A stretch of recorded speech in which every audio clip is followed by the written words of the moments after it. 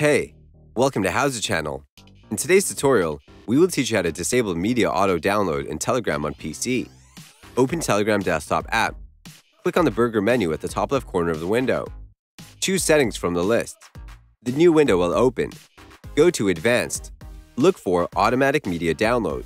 You will see a list of options in private chats, in groups, in channels.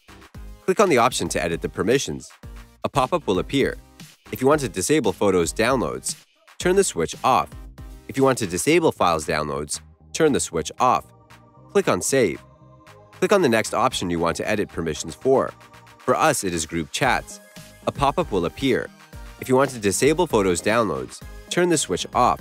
If you want to disable files downloads, turn the switch off. Click on Save. The last option you can edit is Channels Media Files. Click on it. A pop-up will appear. If you want to disable photos downloads, turn the switch off. If you want to disable files downloads, turn the switch off. Click on Save. That's it.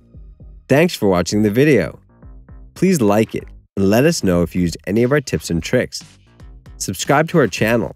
We upload new tutorials every day. See ya!